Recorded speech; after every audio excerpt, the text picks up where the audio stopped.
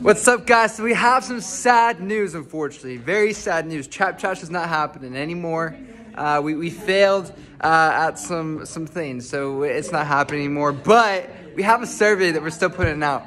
Um, truth be told, uh, this is for our entrepreneurship class right here. Mike Lang, amazing, beautiful man uh, of God. Uh, he needs us to have a hundred people fill this out. So please fill it up. If you're not gonna do it for me, if you're not gonna do it for Bryan, do it for So you said we're gonna update the like the nine slides, right? Or Right. the nine The boxes. night grid.